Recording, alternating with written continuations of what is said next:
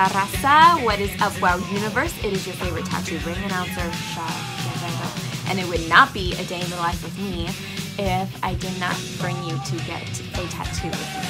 Yes, I am going to get my fingers tattooed at Color Theory Tattoo here in Illinois. I'm getting a cross to pay homage to that, but I'm also getting a crescent moon um, for who I have chosen to be, which is a little witchy. Wish me luck.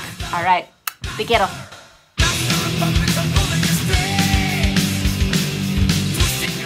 quiero. tattoo. Ooh, ooh, ooh, and it turns out I got another one too. Yup, two.